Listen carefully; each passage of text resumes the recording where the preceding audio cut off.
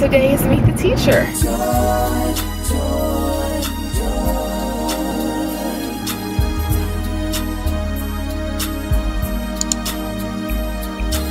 Good morning. It is the second week back to work, but it's just for teachers. And I am still like in my bed right now. I snoozed so many times this morning. Uh, one of my coworkers called me this morning laughing because she knew that I wasn't on my way to work because she knows me. My coworkers always joke about how you know, I used to be like the first one at work at like six o'clock in the morning and I was always so excited for like professional days and all that stuff. And now four years later, I'm just like, just let me teach. I have to present today. So this summer, I told y'all that like I met up with some other ladies along with my principal and we went to like a conference together and then we just been meeting up throughout the summer to discuss how to improve our school. And so today I'm going to present. So if I can get someone to record me then I will record my part. It's gonna be a day. Don't know what kind of day. It's gonna be hopefully a marvelous Monday oh I'm not very confident in that though.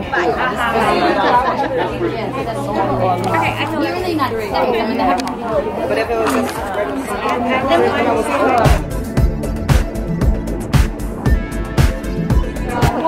I'm trying to see if I can do it with the with these glasses on the camera. Oh. oh, you have to.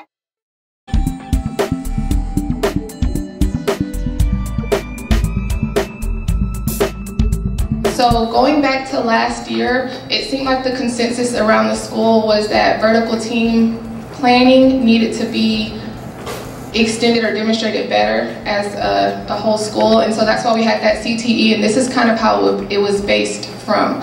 So we have our full math science group that met last year together when we broke off and then we have the full language arts and, and reading when that broke off. But then in those different content groups there's little pods and so that's where the six tribes came from. So this is just like a safe place where we can all collaborate have those vertical team meetings and then come back together as a larger group and make sure that we all really understand um, what we want to do as a team. This part right here I need like excitement because we worked hard to get what I'm about to tell you Come on, come on. We have t-shirt and jeans day. So we have two jeans days. I mean, that's like, come on, don't act like you're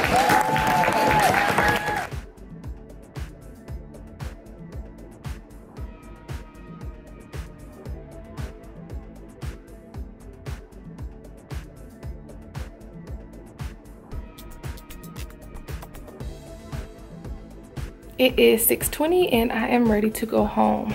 I did get my personal area done over here. This Inspire sign that's up here was given to me by a student a couple years ago. And then here are some notes that were given to me by my principal. And then here are a couple pictures of me and some other coworkers. Here's some pictures of my family down here, my toolbox, all that is still the same. Over here I've added some other things from students these are my sentence starters right here. These are my place value elephants. We only go to, I think, 1,200 in second grade, but I want them to see that we go further than that. Then these are the classroom rules that my niece got me when I graduated from college. I put my calendar up here, and then I have put just some painter's tape right here because I'm going to glue paper right here on all of these cabinets so that I can use it for my interactive word walls. I did outline my green screen over here so it looks much better. And I was able to get three tables cleared. So the only thing that's over here are school supplies. One of my students already bought school supplies. And this one's clear and this one's clear. And this one is pretty clear. I just have to take this home because I brought spaghetti for my coworkers today and this table is where my catch-all is so I'll get that together. This one doesn't really have much. Once I fill this up then I'll get I can put it over on my bookshelf. And then these boxes over here are going to house my student school supplies when they come in this week. I'm sitting here cutting out all of these things to be laminated tomorrow. I'm using scrapbook paper just to give it a hard, harder backing before it's laminated. I have my little daily routine things and the reason why I have so many math and science things, even though I only teach two classes, is because my classes are split up. I have this crazy schedule where it's like I teach half a class and then we go to the lunch and then I come back and teach the other half and then we switch and all this stuff. So, um, and also in second grade, we do clocks, we do time. I'll just put the start time on here and the end time right here so that they can see time both ways. Um, I did go ahead and make these labels larger. And then these are going to be for meet the teacher and I'm going to just put these on some boxes that I already have in my room so that the parents can drop their items in there and separate them for me. I did get this off Teacher Pay Teachers and I just edited it. It was a free little booklet and so I did go ahead and make it my own and so I just have to put those in for copies on colored paper. This is my classroom helpers chart and I feel like I need to redo some of them because I don't think I will be using all of the jobs, but I haven't gotten to that yet. And this is going to be a pocket chart that I create using some transparencies in this poster board. The only problem is that I cannot remember if I measured it I can't remember if this was the correct width or if this is the correct width. So I need to take this back up to work tomorrow. Um, a couple of weeks ago, it seems like longer than that, but I think it was a couple of weeks ago, I was contacted by one of my wonderful former parents that I've worked closely with for many years. So these are all of our school supplies that wow. they just delivered. Wow. all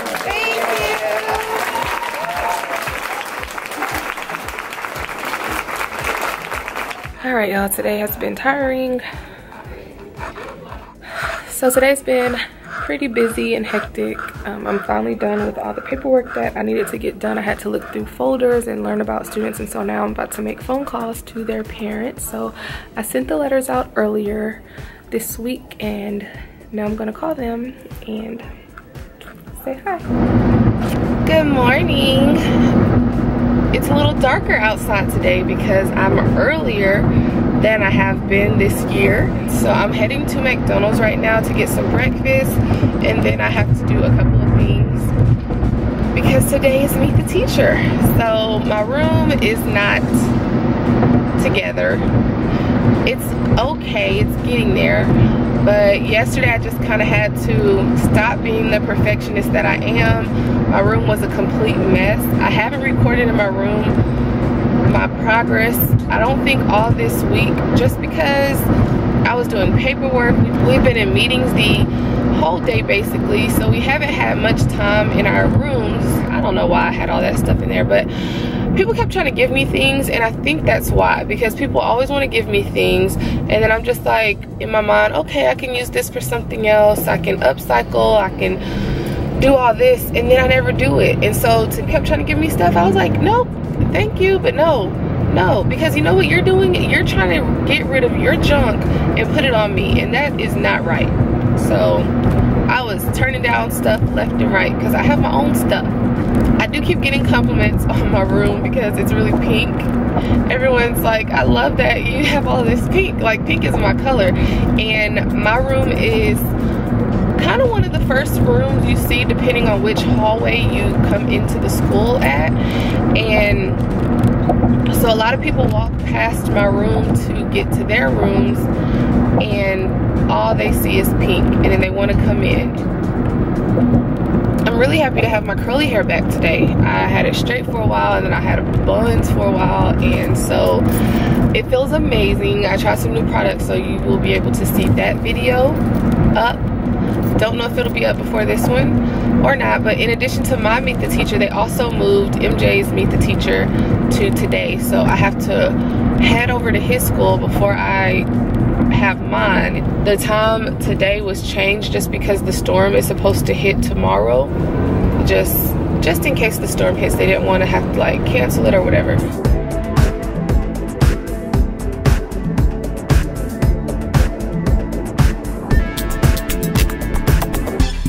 I just realized before I went into McDonald's that I don't have my phone. So I don't know where I left it. I normally put it in my purse, but it wasn't there. So maybe I left it. I didn't use it at all this morning. So that's probably why I don't know where it is.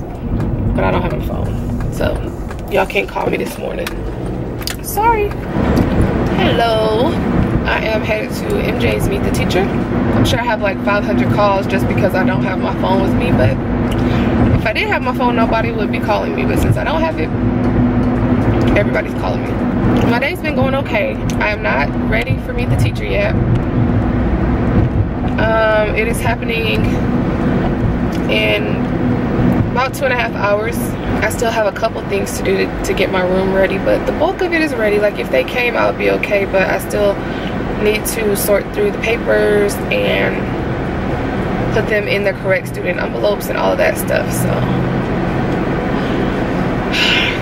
I can do it but um, I wish I would have been able to already have gotten it done but you know that's not how life works. So I'm in a good place. At least my room is more put together than it has been for the last few days. Kind of think about what my child looks like. I didn't pick him out any clothes so hopefully that went well. So this morning, the fire department had to come out to my school because one of the custodians saw smoke and like smelled a funny smell. And it was kind of funny because like the, the fire alarm was going off very loud because you know if you know anything about fire alarms at school they are obnoxiously loud so it was going off and like you know as teachers are just in the rooms working because you know no students are there so we wouldn't be having like a fire drill right now so we were just kind of ignoring it and continuing with our work. And so then one of the administrators started you know coming down the hallways you know yelling get out get out. This is not a fire drill. Like get out. This is real. So we're like oh really? The one time I'm early because I have been late this whole week or like right there on time this whole week. The one day I get there early, we have to evacuate the building. So I didn't grab my keys because just thought we were gonna be in and out and like, you know, I'm like, you know, it's a not a drill. So it's like, oh my goodness, get out of the school right away. So I didn't think to grab anything I didn't grab my purse or anything, so my keys were still in the building. So I tried, I was about to go back in and, you know, because they, they had already said what it was. Like they said what part of the building it was at, what was going on. So we were just waiting for the fire department to get there. And somebody was like, really, you're going back into a burning building? And I'm like, um, my room is like way over there. It's not a burning building. I was really gonna get my keys and go home. Everybody was like, eh, no, you can't go back in there. So I couldn't go back in there, so I just stayed outside in the heat. And I'm glad I didn't flat iron my hair because my hair would have been just destroyed if I, because I mean, we were outside for a good 40, 45 minutes. So I'm like, really, there goes my early morning that I decided to get here and get stuff done. So that set me back. so I'm done. My husband was already at the school, which was great because he filled out all the necessary paperwork. So I came in at the very end of it and so I got to meet his teacher. We talked for a little bit. Then we went to meet the new music teacher and to get everything taken care of. It was really an interesting experience because as we were walking down the hallways and things, different teachers kept stopping and they knew MJ's name and they, you know, were saying that they were happy that he was there. And some teachers like one teacher was like you have an amazing son. I just want you to know that. And i mean like they kept it, it's it's amazing because I know that he's made an impact on a lot of adults' lives because, you know, there are just certain kids in the school that everyone knows and there are other children who, you know, they don't really get noticed it makes me know that we're doing something right. Like he is able to hold his own at school and all of that. So it makes me really happy. Our neighborhood got rezoned. So really mj was supposed to go to another school. This school specifically said that they only wanted people who lived in the neighborhoods to go to the schools. Because i am a teacher in the district they let me pick and say that he got to go there. I really like the school and I went to a lot of different schools growing up and so I didn't want him to have to deal with that. So I'm happy that I get to keep him there. Most teachers have already gone. It's about seven o'clock at night and tomorrow, actually tonight, that storm is supposed to start. So a lot of people have left. I didn't get a chance to say hi before Meet the Teacher started, but it was a success. I think I had 100% of my students come and I got some gifts from the students and their parents and it's a wonderful group of students. I just want to show y'all how my room looks right now. This is my room after Meet the Teacher. I had 100% attend, so I'm really excited. My desk is a mess as always, and one parent even gave me this right here, personalized sanitizer, which is so cute. I had a parent who come in and ask if I needed help and so she went through and took all the sanitizers out, the papers and things like that, tissues over here. Not all my students brought supplies today. They told me they were going to bring some on Monday.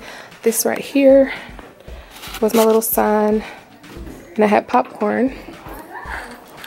So these are the supplies. This for parents to sign up Here's my book that I gave to each family. I finally got my stuff set up over here. So I'll do a whole tour soon for y'all, but I just wanted to show it to y'all because I didn't get a chance to do it. So I have signs out around the room. I didn't get all my signs up, but it worked out fine. Busy, busy night. I'm tired and it is 7 o'clock, 7.10.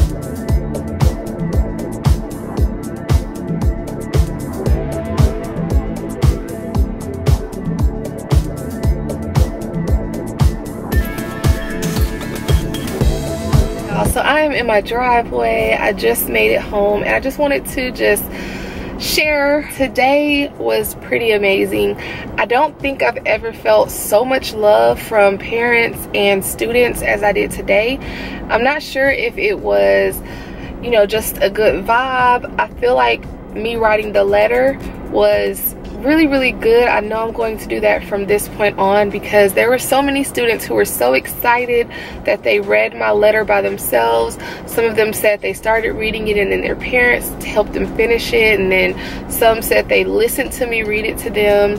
And there was just so much love. I think only one student didn't come and that student i'm not really sure if he's going to even be in my class. There was some talk about he might be leaving. So I feel like I had 100% of my students attend tonight and their parents were like so helpful. I had one parent to come in and she just, I mean, attacked my school supplies and put them in the boxes that I wanted them in. So she's going to be a big help.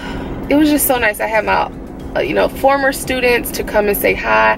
I even had one parent who she said her daughter was looking for me through the school and she told me that I was her teacher last year. She told me that she wanted her brother to be in my class, but of course I moved to second. So many different students that I've already connected with that were in first grade last year and they their parents told me that they were so happy when they got my letter and when they found out who their teacher was. And I, I am tired. I did bring some things home with me just because, you know, there's been some talk of us not going into work tomorrow, but that's not confirmed yet. So I feel like we're going to be there, but I just brought it home just in case because if we're not there tomorrow, then the next time we will be there, students are going to be in the classroom. So there are some teachers who decided to stay there tonight and get everything situated so that when they come in, whenever we come in the next time, um, they'll be ready for the students. I said I wanted to come home and the students can just help me to clean up whatever mess um, is there. So if you look behind me, that's the line at Walmart and the checkout stand isn't